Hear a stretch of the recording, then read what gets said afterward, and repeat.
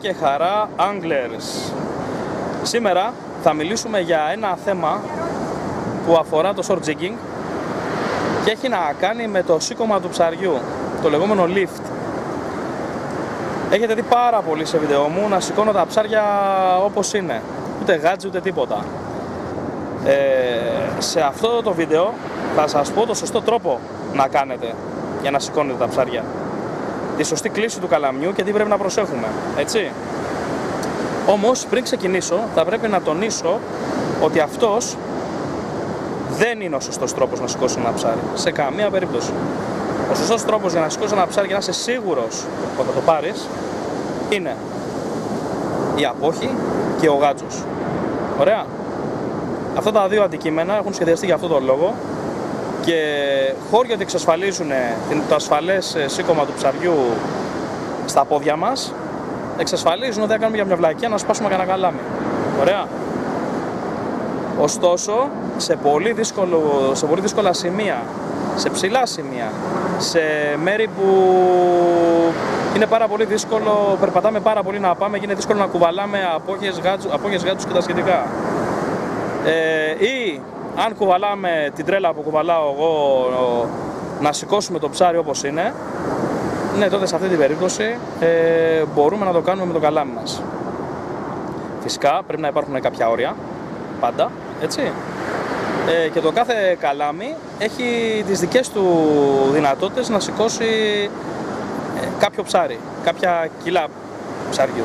Ωραία. Ας δούμε λοιπόν ε, μερικά πλάνα και να μιλήσουμε παραπάνω για το lift.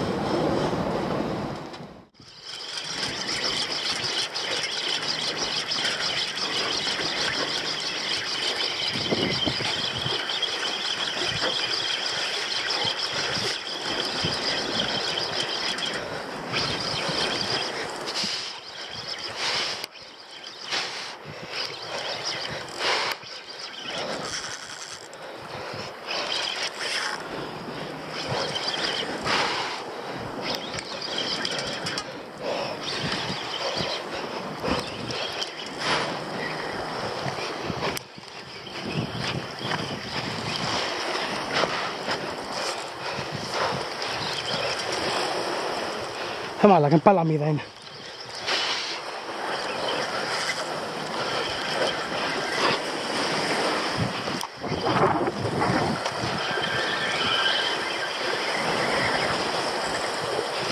Έχει και παλαμίδες ρε.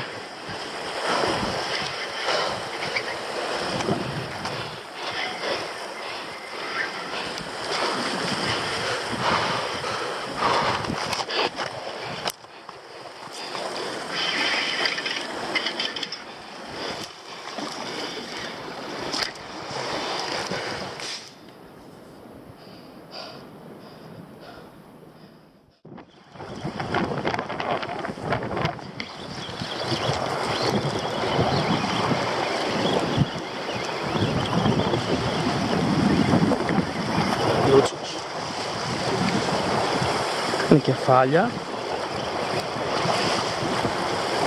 Βρέλα εδώ.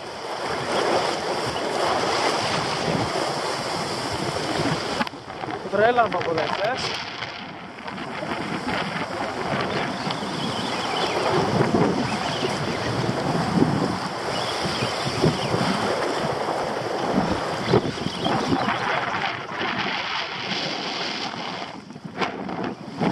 Άσε εδώ. Τι είσαι εσύ.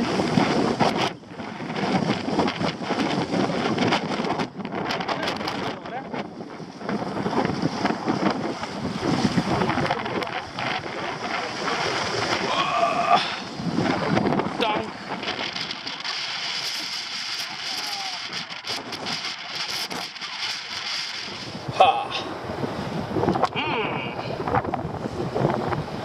Okay.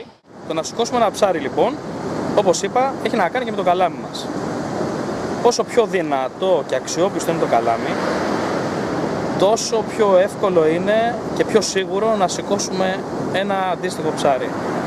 Ψάρια μπορούμε να σηκώσουμε, έχει να κάνει καθαρά με, το... με τις αντοχές του καλαμιού. Συνήθως ψάρια 2-3 κιλών, τα περισσότερα καλάμια short jigging με max ε, 100-120 γραμμάρια μπορούν να τα σηκώσουν με προσοχή. Και από εκεί και πέρα ε, μπορούμε να πάμε και σε 4, σε 5 και σε 6 κιλά ψάρι, έτσι. Ε, σε αυτές τις περιπτώσεις ε, πάντα με πολύ προσοχή και εφόσον ε, είμαστε σίγουροι για τον εξοπλισμό μας, ο οποίος δεν είναι μόνο το καλάμι, είναι και το νήμα και το παράμαλο, έτσι.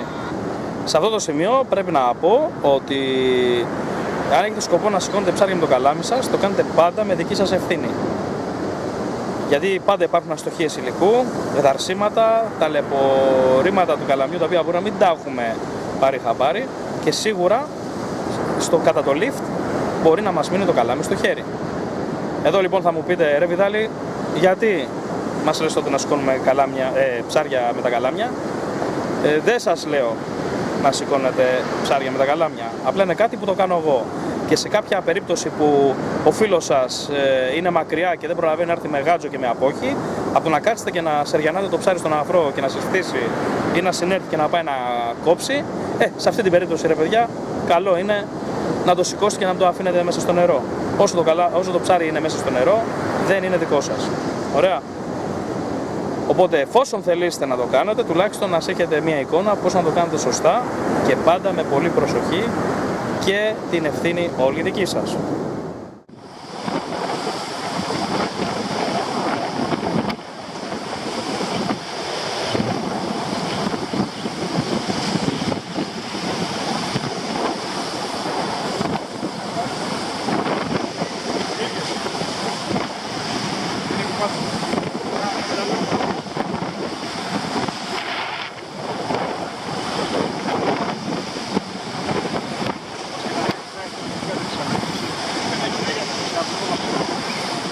Πιο μεγάλο είναι. Πιο, πιο μεγάλο είναι. Ω, ω, να το, να το. Βρε θα ανέβει, αλλά...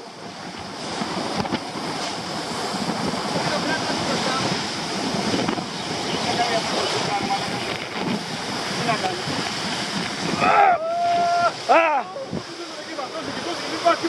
Μη φοβάσαι ρε.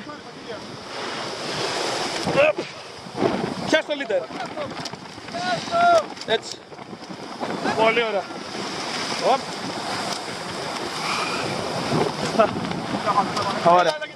Το πετάξτε προς τα, το, το, το assist πρόσεχε. Πάει. Ωραία. Την ώρα που σηκώνουμε το ψάρι λοιπόν ε, παιδιά, έχει... θα κοιτάξουμε τις μοίρες του καλαμιού. Όσο πιο ψηλά είμαστε, τόσο το καλάμι μας θα πρέπει να είναι πιο παράλληλο με, το, με την επιφάνεια της θάλασσας. Αν είμαστε δηλαδή ψηλά σε ένα ψηλό βράχο, σε αυτές τις περιπτώσεις δεν τολμάμε να σηκώσουμε το καλάμι ψηλά. Γιατί αν σηκώσουμε παραπάνω το καλάμι ψηλά, το ψάρι θα κρεμάσει και θα έρθει κοντά στο βράχο, οπότε θα δημιουργήσει πολύ μεγάλη κλίση και το καλάμι μας μπορεί να σπάσει. Όσο πιο ψηλά είμαστε, κρατάμε το καλάμι παράλληλα με την επιφάνεια του νερού και μαζεύουμε με το μηχανάκι.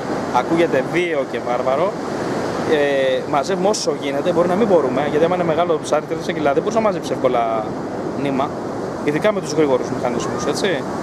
Ε, οπότε τι κάνουμε, κατεβάζουμε λίγο το καλάμι, μαζεύουμε για να κερδίσουμε μέτρα, σηκώνουμε το καλάμι μέχρι ε, ε, αυτή την, να, να είναι παράλληλο με, το, ε, με την επιφάνεια της θάλασσας και προσπαθούμε να ακουμπήσουμε το ψάρι, αν δεν μπορούμε να το φέρουμε τελείως επάνω σε εμάς, προσπαθούμε να το ακουμπήσουμε σε κάποιο σημείο από κάτω μας, σε κάποιο βράχο που να κάνει ε, σαν γουβά ή σαν κουβά. Αυτό είναι και το καλύτερο. Να βρούμε ένα σημείο από κάτω μας που να, να είναι λίγο στεγνό ή λίγο σίγουρο και να κουμπίσουμε εκεί το κουρασμένο ψάρι και άμα είμαστε μόνοι μας να αφήσουμε το καλάμι κάπου με ανοιχτό το pick-up, ποτέ με κλειστό το pick-up και να κατεβούμε κάτω και να πάρουμε το ψάρι.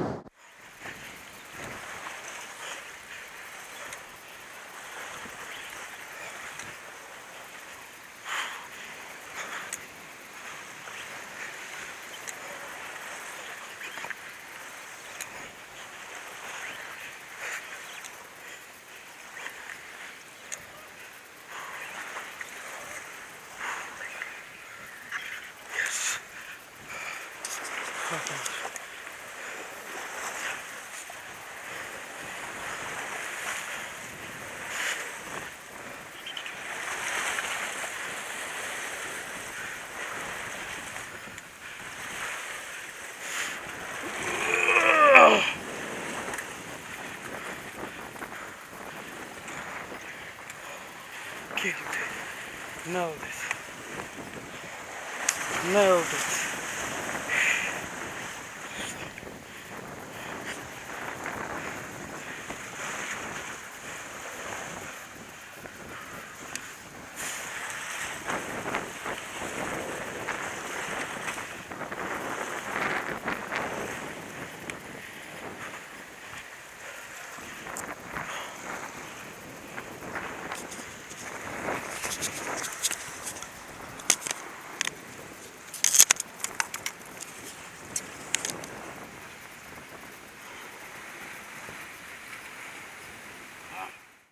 Μετά, άμα είμαστε πιο χαμηλά στην επιφάνεια της θάλασσας, σε αυτή την περίπτωση ναι, ε, μπορούμε να σηκώσουμε και λίγο παραπάνω το καλάμι, εφόσον αυτό μας εξασφαλίζει ότι θα φέρουμε το ψάρι επάνω μας. Όμως, ξαναλέω, έχει να κάνει και με το βάρος του ψαριού. Όσο πιο μεγάλο και βαρύ είναι το ψάρι, τόσο πιο ρίσκο είναι να σηκώνουμε το καλάμι μας σε μεγάλες κλίσεις. Ωραία. Ο μεγαλύτερος βοηθός μας στο να σηκώσουμε ένα ψάρι δεν είναι ο άλλος από το κύμα. Αν υπάρχουν κύματα, Αυτά μας βοηθάνε πάρα πολύ στο να πάρουμε ένα ψάρι πιο εύκολα επάνω. Γιατί θα περιμένουμε το κατάλληλο κύμα το οποίο θα σηκώσει το ψάρι ψηλά και με τη βοήθεια του νερού θα μπορέσουμε να το ανεβάσουμε λίγο πιο πάνω στα βράχια. Οπότε είναι πολύ σημαντικό να εκμεταλλευτούμε τα κύματα εφόσον υπάρχουν. Το ψάρι είναι πιασμένο και έχει έρθει κοντά σε εμάς, το βλέπουμε, αλλά το κύμα κρύβει και έναν κίνδυνο. Αν δεν το εκμεταλλευτούμε σωστά, να ανεβάσουμε το ψάρι επάνω, υπάρχει τεράστιος κίνδυνος να το χάσουμε, γιατί το κύμα ανεβαίνει, αλλά και κατεβαίνει.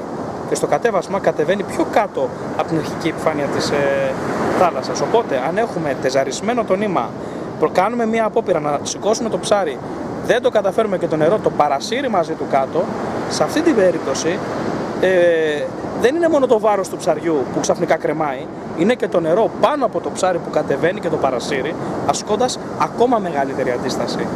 Άρα το κύμα μπορεί να έχει καλά και κακά.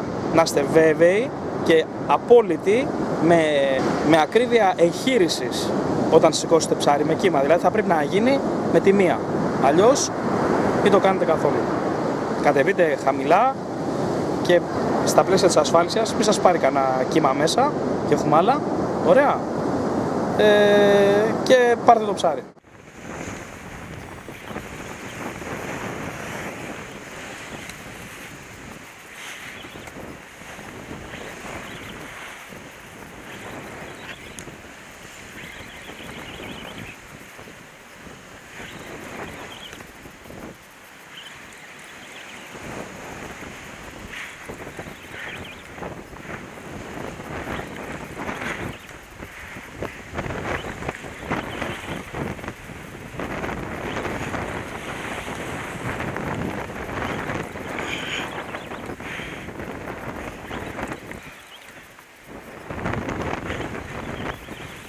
Θεός και η Παναγία να με βοηθήσουν.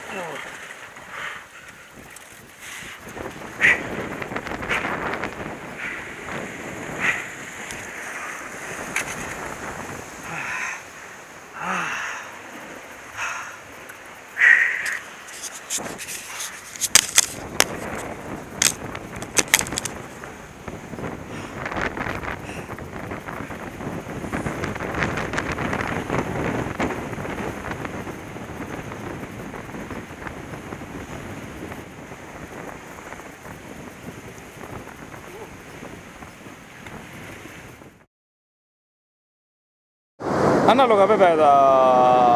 τις ικανότητες του καλαμιού μπορούμε ένα ψάρι να το πετάξουμε έξω και για πλάκα. Άμα είναι ψάρια δηλαδή μισό κιλό, ένα κιλό και τέτοια ε, ψάρια φυσικά και μπορούμε να τα σηκώσουμε. Με τα περισσότερα καλάμια όμως που είναι 100-120 γραμμάρια. Ε, Δηλαδή ας πούμε με ένα καλάμι 20-60 σίγουρα δεν τολμάς να σηκώσεις ένα ψάρι και του κιλού ακόμα με πολύ μεγάλη κλίση γιατί θα το κλάψεις έτσι. Όταν σηκώνουμε ένα ψάρι, εκμεταλλευόμαστε τη γεωμετρία του καλαμιού και πιο συγκεκριμένα, όχι τη μύτη, από τη μέση του καλαμιού και μέχρι τη βάση. Αυτό το σημείο του μπλάνκ είναι το πιο ισχυρό και το πιο στιβαρό. Αυτό πρέπει να σηκώσει το ψάρι και όχι η μύτη. Οπότε όταν σηκώνουμε, κρατάμε το καλάμι σε μεγάλη απόσταση, τα χέρια μας, δηλαδή το ένα χέρι αρκετά πίσω και το άλλο χέρι αρκετά μπροστά, σχεδόν εκεί που τελειώνει το έβα και ξεκινάει το μπλάνκ και σηκώνουμε το ψάρι έτσι, όχι έτσι, προσέχετε, έτσι, όλο μαζί και ακουμπάμε δίπλα. Είναι πολύ σημαντικό αυτό και πρέπει να το καταλάβετε. Από εκεί και πέρα, όπως έχω πει, το κάθε καλάμι έχει τις δικές του αντοχές και κάποια καλάμια είναι σκληροπυρηνικά, κάποια καλάμια είναι πιο ευαίσθητα. Τα δικά μου τα καλάμια έχω μάθει, τα έχω μάθει απόλυτα, ξέρω τα όρια τους και πολλές φορές το παρακάνω, αλλά μέχρι τώρα δεν είχα ποτέ κανένα πρόβλημα. Ο καθένας θα πρέπει να μάθει τις αντοχές του καλαμιού του και ανάλογα να κάτσει να... ανάλογα να πράξει, μάλλον. Με πιο απλά λόγια, το περισσότερο μπορούμε να σηκώσουμε το καλάμι είναι μέχρι 30 μοίρες. Ωραία, όταν σηκώνουμε το ψάρι, 30 μοίρες είναι το μέγιστο, το οποίο είναι ήδη αρκετό, ειδικά όταν έχουμε ένα μεγάλο ψάρι. Ωραία. Από εκεί και πάνω το ρίσκο είναι πάρα πάρα πολύ μεγάλο. Και αν έχουμε λάθος θέση χεριών και γενικότερα λάθος ε, στεκόμαστε σε λάθος μέρος γιατί μπορεί εμείς να νιώθουμε κάθετοι αλλά το σημείο άμα είναι κανένας βράχος λοξός και αυτά είναι πολύ εύκολο να μπερδευτούμε και να αλλάξει λίγο η μοίρα. Ένα γλίστρεμα του ποδιού, κάτι. Το παραμικρό μπορεί να μας κοστίσει το καλάμι. Ωραία. Και από εκεί και πέρα ε, τελειώνει το ψάρεμα και μπαίνουμε και σε άλλα έξοδα. Το προσοχή.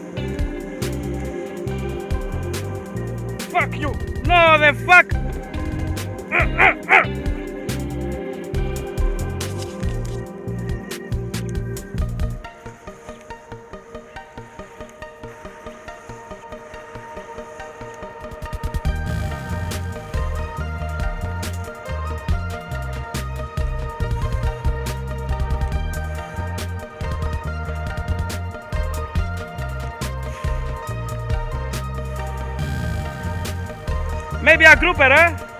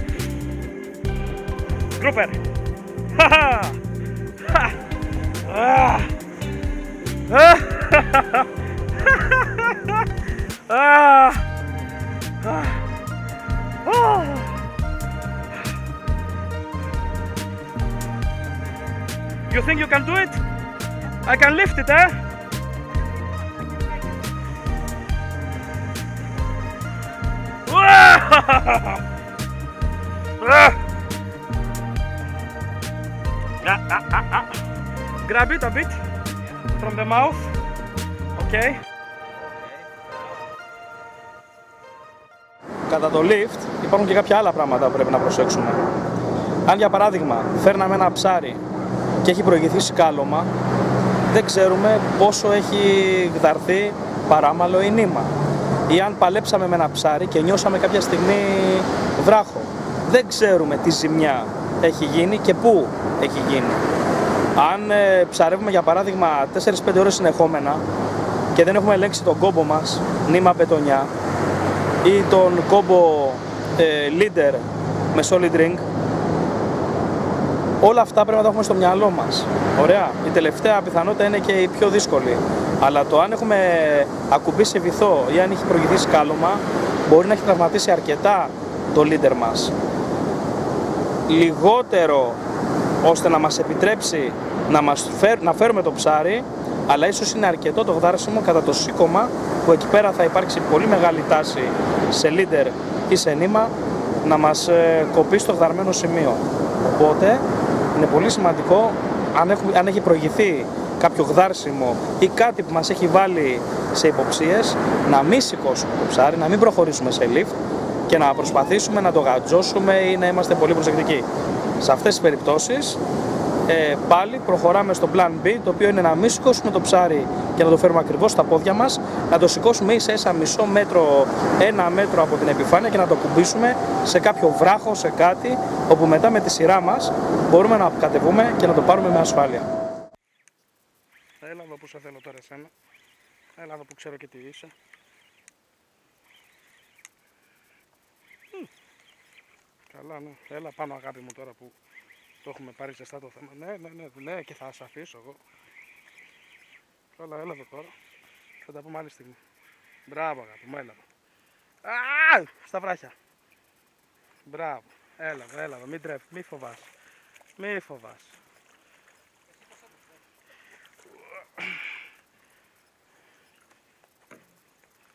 Ε, μα, μια, δυο, μια, δυο. Μια, δυο, έλα εδώ. Έλα πάνω που σου λέω τώρα και που δεν θες. Μου έρχεσαι, ε. Τι περίεργη που είσαι εσύ. Τι περίεργη που είσαι εσύ. Έρχεσαι. Πρέπει μήπως είσαι πιασμένη περίεργα. Κάτι δεν πάει καλά εδώ, φίλε. Είναι κανένα τέτοιο σκάτω ψαράκι.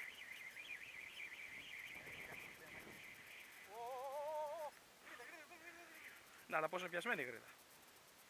Ουα!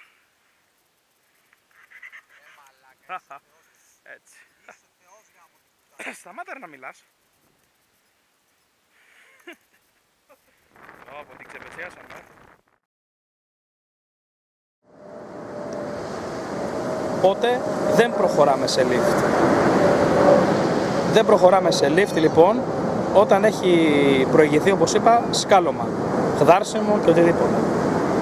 Επίσης, δεν προχωράμε σε lift όταν φέρουμε το καλάμι κοντά και δούμε ότι είναι πιασμένο από καμιά πέτσα.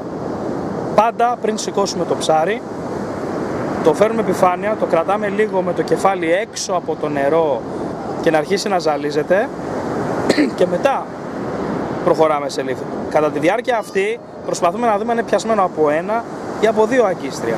Άμα χρησιμοποιούμε ένα assist και είναι πιασμένο το ψάρι που είναι επιφανειακά, δεν προχωράμε σε lift, έτσι. Χρειάζεται γάτσος ή απόχη. Αν ε, το ψάρι ε, είναι πιασμένο και φαίνεται ότι είναι πιασμένο από γερό σημείο, δηλαδή σαγόνια, κόκαλα ή με δύο assist hook, ναι, προχωράμε σε lift και το σηκώνουμε. Αν το ψάρι είναι πιασμένο από ράχες ε, και σε άλλα σημεία, δεν προχωράμε σε lift. Γιατί, αν είναι από ράχη για παράδειγμα, όταν πάμε να το σηκώσουμε, το πρώτο πράγμα που θα σηκωθεί έξω από το νερό είναι το... η πλάτη. Με αποτέλεσμα να γυρίσει το... η μούρη προς μέσα στο νερό και το ψάρι μπορεί να έχει πρόσφυση, να κάνει κάποιο απότομο τράβηγμα, να δημιουργήσει μεγάλη τάση και να οδηγήσει σε δυσάρεστα αποτελέσματα. Στην καλύτερη σπάσιμο λίτερ νήματος, στη χειρότερη σπάσιμο του καλαμιού.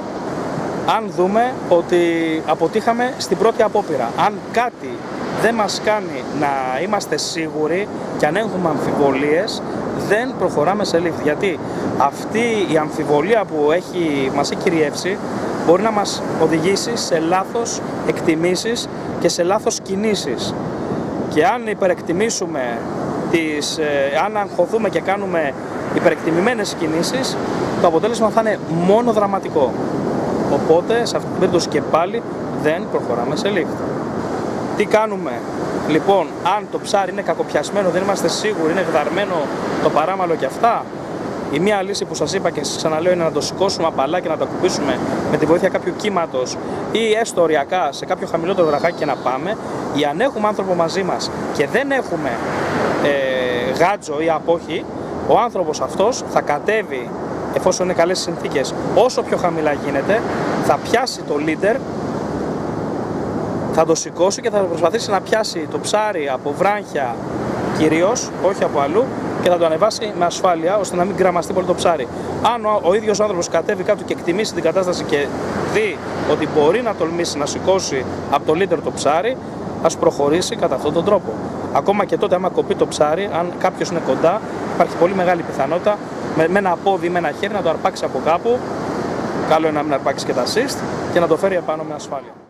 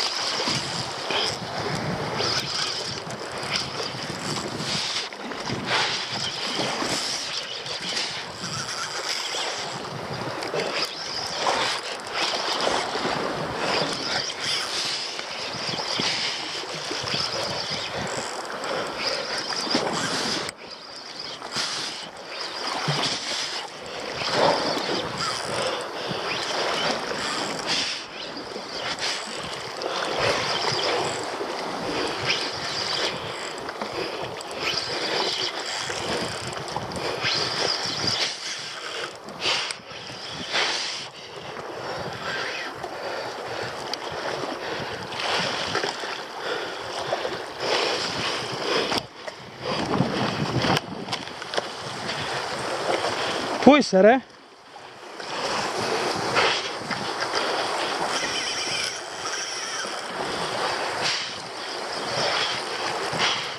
Again. Ah. Figyelj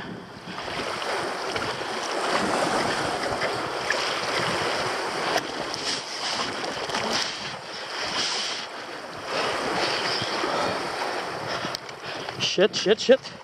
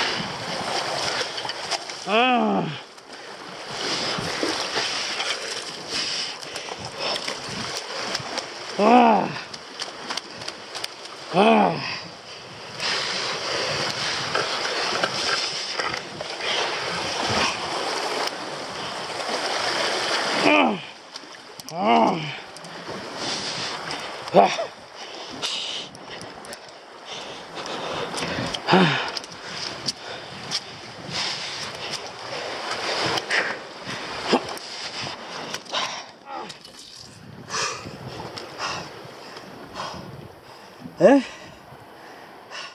Καταλήγοντας, το lift είναι μια πολύ χρήσιμη τεχνική να πάρουμε ένα ψάρι σε μια δύσκολη κατάσταση. Μπορεί να μας δώσει ψάρια που υπό άλλες συνθήκες δεν θα τα παίρναμε. Ε, μας βελτιώνει όσον αφορά στη σχέση μας με το καλάμι. Καταλαβαίνουμε καλύτερα, κατανοούμε ακόμα καλύτερα τις αντοχές του καλαμιού. Και, αλλά πάντα θα πρέπει να το χρησιμοποιούμε με μέτρο και πάντα στα πλαίσια ασφάλειας που μας προσφέρει το ίδιο το καλάμι.